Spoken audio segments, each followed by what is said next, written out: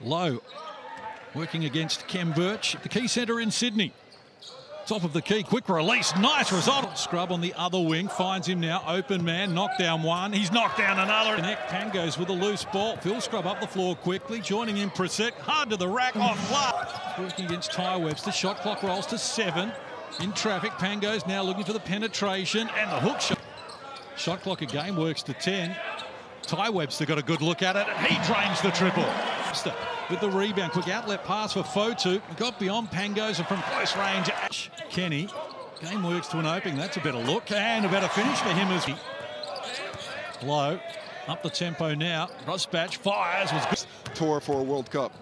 They scored the last 11 here. New Zealand, it's up tempo and pretty to watch. Classic from close range. Teams against teams that are better than you are.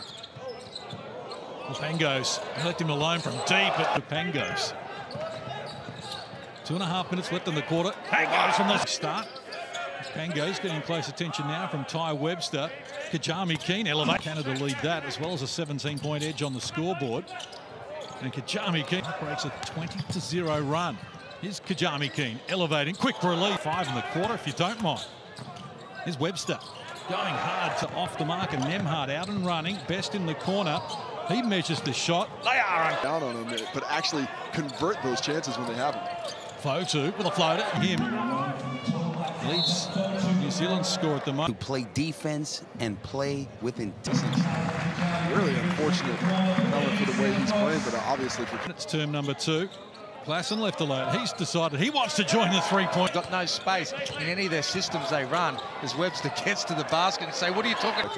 Here's a little 1-3-1 zone, it looks like, from New Zealand. And they've given Played term number two. It's been largely one-way traffic in favour of Canada. It's Rosberg there to keep it alive. Now Shea Brissett athletically into the Melvin Ejim against Delany. Wants to muscle his way in with the left hand and Webster. In the corner, slow pass, back to Loe, under the hoop. Rolls it down low. It's Birch against Rob Loe. Forced into a tough shot and it's Nembhard. Beats Ejim, gets to the baseline a little too. You know, I coached him. He was fantastic to coach and unbelievable when he gets on fire. New Zealand, 23% from deep. They left Corey Webster alone. He fires. It's a pity there's only 40 seconds to go before the half because Corey's that sort of player. When he gets... Now, Nembhard gets a little busier and stood off him. Couldn't complete it, though. Might get a second chance. Cleans up his upset. Ejim, Pangos. Shot clock rolls to seven. Brissett firing from deep and deep on, fellas. What if you were up 27 at the time? Still not happy. Working against Melvin Ejim.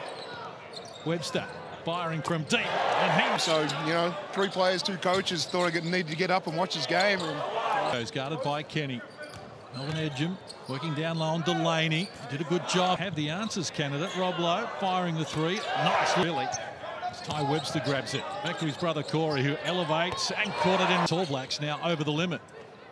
It's Klassen in close. Just muscles his way up against Fotu. So close and off and running here. Tommy Scrubb one way, back the other. He's got Abercrombie on his hip and 28-point lead.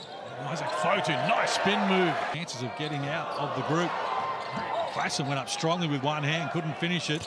Got the rebound, and then it rattles around. Aaron Best likes his chances, spins baseline, and that's an excellent finish. Again, he's providing a very good target down low. Canada. Seven rebounds as well, three assists. There's Nembhard going to home. Oh, jumped up. C9 with Canada winning each of the three quarters so far. Isaac Fotu being busy. We were pumping New Zealand up for holding Canada to only seven points in the first five minutes. And then... Canada back up the floor. Once Nembhard reaching in Abercrombie. Read the pass. Knocks it away and jumps upstairs. I guess we've seen at any stage. Took over two minutes played here in this final quarter. Rob Loe. Seen a lot of it so far in this term. Had to add to his 13 points. Loe. The benefactor. Tough two-man game. This is the Tommy Scrubb drop. The equation here at least had some respectability to the scoreboard. Abercrombie elevates. What New Zealand are doing, but he may need to use a 2-3 zone at different times at the World. 15 points for him in the game. Rob Loe. Well, he's going berserk here at the moment. but didn't quite get executed on those last couple of Rob Loe threes. Klassen with four fouls. Sits down. Here's Delany with a hook shot. Now Brissett with it. Looked off the D and the rebound. Close range. Scrubb outside. And get Now with Webster with 17 points, that being Tai. Ah. Ngatai beats Rusbatch, this time from the other wing, and this National team than a guy who plays his role, and his role is to come off the bench and Canada. In so impressive a game. Look at Nemha.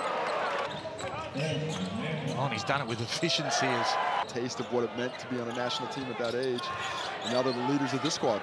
Oh, is it around? Dwayne notice. Shot clock rolls to five. And that's all points. Full time at the Key Centre in Sydney. Canada 100.